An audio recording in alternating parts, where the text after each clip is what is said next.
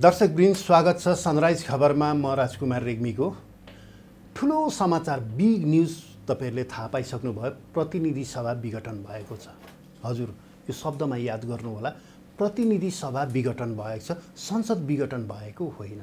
सङ्घीय संसद भनेको दुई सदन छ। राष्ट्रिय सभा र प्रतिनिधि सभा। अहिले विघटन भएको संसद होइन। प्रतिनिधि सभा मात्र हो।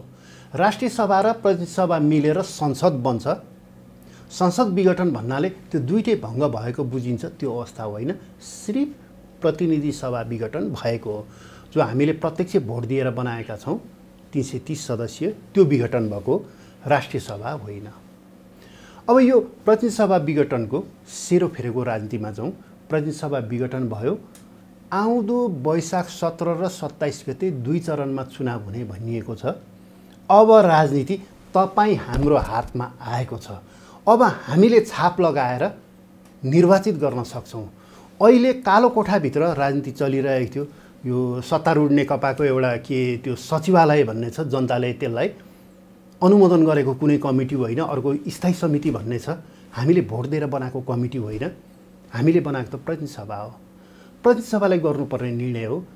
त्यसलाई प्रतिनिधि सभालाई चल्नै नदिने व्यवस्थाको बन्दी बनाउने सरकारलाई हलचलै गर्न नदिने काम त्यो सचिवालय भनिने तथा त्यो स्थायी समिति विभिन्न कम्युनिस्ट पार्टीका कमिटीहरूले गरिरहेका थिए। त्योबाट आजबाट देश मुक्त भएको छ। व्यवस्थाको बन्दी प्रधानमन्त्रीलाई सरकारलाई जुन बनाइँदै थियो त्योबाट मुक्त भएको छ। प्रतिनिधि सभा विघटन भएको छ अब राजनीति हाम्रो हातमा आएको छ। हामीले भोट लगाएर जे निर्णय गर्ने हो गर्न सक्छौँ। अब तपाईँहरूले सुनिरहनु भएको छ। प्रतिनिधि सभा विघटन गर्नु त बर्बाद भयो। संविधान भत्कायो। कु भयो यस्ता कुरोहरू सुनिरहनु भएको छ होइन यो सबै गलत कुरो हो हामी लोकतन्त्र मान्छौँ भने चुनावमा जाने कुरोमा डराउन हुँदैन हामी संसदीय व्यवस्था मान्छौँ भने प्रधानमन्त्रीले प्रतिनिधि सभा विघटन गर्ने विशेषाधिकारलाई मान्न पर्छ यहाँनिर तपाईँहरूलाई अलिकति व्याख्या गरौँ। हाम्रो संसदीय प्रणाली कस्तो भनेर।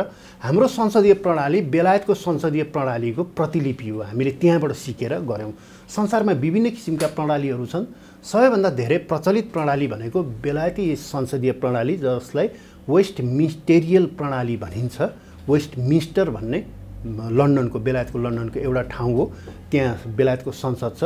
त्यहीँबाट त्यो नाम आएको हो।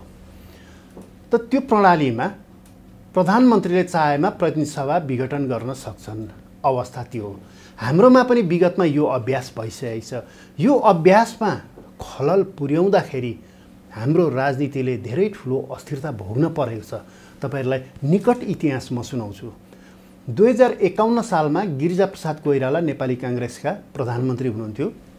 उहाँहरूको पार्टीमा पनि अहिले नेकपाको जस्तै कलह भयो झगडा भयो विवाद भयो। गिरिजाप्रसाद कोइरालाले प्रतिनिधि सभा विघटन गर्नको लागि तत्कालीन राजा समक्ष सिफारिस गर्नुभयो। संवैधानिक राजतन्त्रमा प्रधानमन्त्रीको सिफारिस राजाले मान्नुपर्छ भन्ने मान्यता हो। तत्कालीन राजाले विघटनको सिफारिसलाई सदर गरिदिए जसरी आज राष्ट्रपति विद्यादेवी भण्डारीले केपी शर्मा ओलीद्वारा सिफारिस गरिएको विघटनको सिफारिसलाई स्वीकार गरिएको छ। त त्यति बेला के भयो भने अदालतमा मुद्दा गयो। सर्वोच्च अदालतमा मुद्दा पर्यो विघटन असंवैधानिक भनेर। सर्वोच्च अदालतले फैसला गर्यो होइन? प्रधानमन्त्री गिरिजाप्रसाद कोइरालाले गर्नुभएको सिफारिस र श्री पाँचद्वारा विघटन जुन सदर भयो त्यो संवैधानिक छ भनेर सिफारिस भयो। अदालतले निर्णय गर्यो त्यसपछि चुनाव भयो। चुनावमा तत्कालीन नेकपा एमाले सबैभन्दा ठुलो पार्टी बन्यो तर बहुमत ल्याएन सम्झौँ है। र त्यस बेलाको संविधानको व्यवस्था अनुसार एमालेको अल्पमतको सरकार बन्यो त्यो सरकारको प्रधानमन्त्री हुनुहुन्थ्यो मनमोहन अधिकारी। नौ महिनापछि मनमोहन अधिकारीले पनि प्रतिनिधि सभा विघटनको सिफारिस गर्नुभयो। अल्पमतको सरकार चल्न सक्ने अवस्था थिएन। संसदमा उहाँहरूको साथमा बहुमत थिएन। त्यस कारणले होइन जनतालाई बहुमतको सरकार देऊ भन्छौँ भनेर उहाँले सिफारिस गर्नुभयो। राजाबाट स्वीकार भयो प्रतिनिधि सभा विघटन भयो। अदालतमा मुद्दा पर्यो। अब यहाँनिर आइपुग्यो कुरो। त्यस बेला भयो के भने नेपाली राजनीतिको दुर्दान्त इतिहास हो यो। एउटा बिन्दु जहाँबाट नेपालको राजनीति अहिलेको अस्थिर विगतको अस्थिर समय गुजाऱ्यौँ हामीले त्यहाँबाट सुरु भयो। अघिल्ला प्रधानमन्त्री गिरिजाप्रसाद कोइरालाले गरेको सिफारिस प्रतिसभा विघटनको सिफारिसलाई अदालतले संवैधानिक भनिदियो। तर ठ्याक्कै उस्तै प्रधानमन्त्री मनमोहन अधिकारीले गर्नुभएको सिफारिस चाहिँ असंवैधानिक भनिदियो अदालतले प्रतिनिधि सभा पुनर्स्थापित भयो। त्यसपछि हो त्यही खा कालखण्डमा यहाँहरूले धेरैलाई सम्झना होला। सांसद खसी बाख्रा जसरी जोखेर बिक्री हुन्थ्यो आज सांसद यता यो यसलाई प्रधानमन्त्री बनाउन। भोलि सांसद उता अर्कोलाई प्रधानमन्त्री बनाउन। बाफ्रे कालो युग थियो हाम्रो संसदीय परिपाटीमा। हाम्रो राजनीतिमा हाम्रो देशको त्यो प्रतिनिधि सभा पुनर्स्थापना भएपछि जुन अस्थिर त्रिशङ्कु संसदको कालखण्ड थियो सांसद खरिद बिक्रीको कालखण्ड थियो त्यो दुर्दान्त कालखण्ड थियो त्यसले नेपाली राजनीतिलाई ध्वस्तै बनाएको थियो। त्यसकै अवशेष बाँकी छ अहिले। अहिले के भयो त? अहिले कसरी विघटन भयो यसमा जाउँ? हो नेकपाको आन्तरिक झगडा अब प्रचण्डलाई कुर्सीमा बस्न रहर लाग्यो। माधव नेपाललाई रहर लाग्यो। उहाँको रहरको सती यो देश जान सक्दैन। उहाँको रहर पुर्याइदिनको लागि यो देशको लोकतन्त्रले बलिदानी दिन सक्दैन। उहाँहरूलाई केपी ओलीलाई हटाएर उहाँहरूलाई बस्न मन लाग्यो भन्दैमा यो देशमा सरकारलाई अस्थिर बनाउन पाइँदैन। आम जनताको धारणा यही हो। केपी ओलीको ठाउँमा प्रचण्ड प्रधानमन्त्री बन्नुपर्छ। उहाँलाई रहर लाग्यो। के हुन्छ त्यसपछि? काँध फेर्ने पालो लाउने त्यो निजी प्राइभेट लिमिटेड कम्पनी हो होइन यो कुरो मान्न सकिँदैन। केपी ओली भनेर जनताबाट भोट ल्याएर निर्वाचित भएपछि केपी ओलीको नाममा आएको जनमतलाई अपहरण गर्ने प्रयास अहिले गरियो। भोट माग्ने केपी ओलीको नाममा भोट माग्ने केपी ओलीलाई देखाएर र त्यसलाई अपहरण गरेर प्रचण्ड माधव नेपालहरूले सरकार गिराउने प्रयास गर्नुभयो आफ्नै पार्टीको सरकार। यो अवस्थामा केपी ओलीसँग सिर्फ दुईवटा बाटो आत्मसमर्पण गरेर। अवान्छित तरिकाले अगाडि बढ्नु भएको प्रचण्ड माधव नेपालहरूलाई सरकार जिम्मा लगाइदिने एउटा बाटो। दोस्रो बाटो। अह तपाईँहरूका यी समिति पाँच दसजनाले भनेर म मान्दिनँ म जनतामा जान्छु। जनताले भन्छ जनताले भोलि भोट दिन्छन् तपाईँहरूलाई भने जानुहोस् भोट ल्याउनुहोस् सरकार चलाउनुहोस् रहर पुरा गर्नुहोस् केपी ओलीले यो दुईवटा विकल्प थियो। केपी ओलीले निकै रस्सा कसीपछि पार्टीभित्रको विवाद मिलाउन उहाँले धेरै प्रयास गर्नुभएको हामीले देख्यौँ। निकै लामो रस्सा कसीपछि उहाँले अन्तिम निर्णयकर्ता फाइनल त्यहाँ जाने निर्णय गर्नुभयो। फाइनल भनेको हामी हो हामी जनता। जनतामाझ जाने निर्णय गर्नुभयो स्वागत छ जनतामाझ नेकपाका सबै नेताहरू आउन् स्वागत छ। आम जनताले स्वागत गर्नुपर्छ। काङ्ग्रेस नेकपा विभिन्न राजनीतिक दलहरू आउँछन्। अब हामीले त्यो निर्णय गर्नु छ। वैशाख सत्र र वैशाख सत्ताइस यो दुईवटा दिनमा हामीले निर्णय गर्नु छ। अब के हुन्छ? नेकपा फुट्न सक्छ। नेकपा लगभग फुटेकै अवस्थामा थियो। पुष्पकमल दाल प्रचण्ड र माधव नेपालहरू वर्तमान प्रधानमन्त्री केपी ओलीलाई मरिचमान सिंह श्रेष्ठ भाग दुई बनाउने प्रयत्नमा हुनुहुन्थ्यो। किन हुनुहुन्थ्यो? किनभने नेपालको राष्ट्रियताको लागि चट्टानी अडान वर्तमान प्रधानमन्त्री केपी ओलीले लिनुभएको थियो।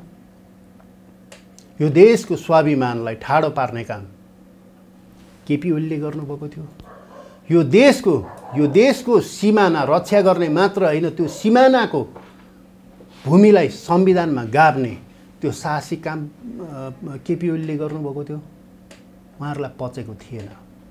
त उहाँहरूले गिराउन खोज्नुभयो मुख्य कुरो उहाँहरू सत्ताको लोभ जुन हो उहाँहरूको भोग जुन हो लोभ जुन हो आकाङ्क्षा जुन हो त्यो कारणले गर्दाखेरि उहाँहरूले सरकार गिराउने बाटोमा लाग्नुभयो त्योदेखि बाहेक पनि अर्को कुरो प्रचण्ड तथा माधव कुमार नेपाल निकट नेताहरूको अभिव्यक्ति तपाईँहरूले सुन्नुभयो भने उहाँहरूलाई जेल गइने डर थियो। जेल हजुर। हतकडी लाग्ने डर थियो। विगतमा उहाँहरूले गर्नुभएका भ्रष्टाचार काण्डहरू जुन थियो त्यो फाइलले त्यो फाइलले उहाँहरूलाई लखेटिराखेको थियो।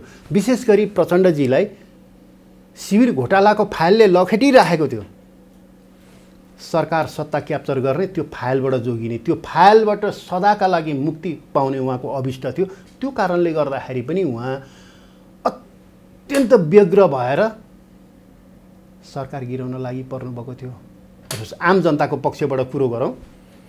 आम जनताको पक्षबाट कुरा गर्दाखेरि सबै नेताको रहर पुर्याइदिने ठेक्का जनताले लिन सक्दैन। केपी ओलीको ठाउँमा बस्न प्रचण्डलाई माधव नेपालहरूलाई झलनाथहरूलाई झलनाथ खनाललाई त राष्ट्रपति बन्न रहर उहाँको त्यो बाटो थियो उहाँहरूको भत्तापुङ्ग भयो। उहाँहरूको रहर पुर्याइदिनको लागि यो देशलाई अस्थिर बनाउन पाइँदैन। त स्थिर कसरी बनाउने? स्थिर जनताको भोटले बनाउने अब वैशाख सत्र र सत्ताइस।